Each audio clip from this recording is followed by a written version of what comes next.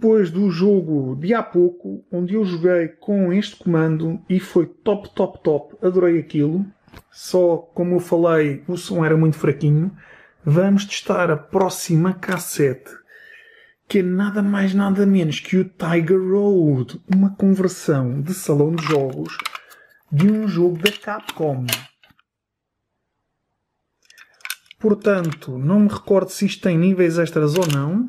Não me recordo se isto lê de uma só vez. Tem patilha partida deste lado, não tem deste lado. Portanto, vamos ver o que é que nos espera.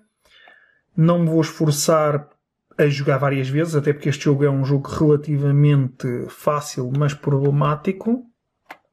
Eu lembro-me que os, os comandos disto não eram muito bons. Havia zonas em que funcionava de uma maneira, uh, noutras funcionava de outra maneira.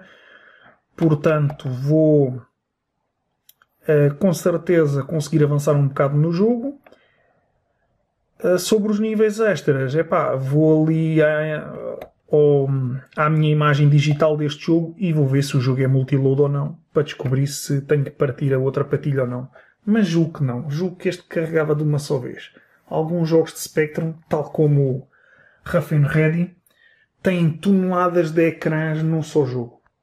Há outros que só têm dois ou três ecrãs por jogo e carregam durante o mesmo tempo que carregam estes jogos que têm dezenas ou centenas de ecrãs. Nunca percebi.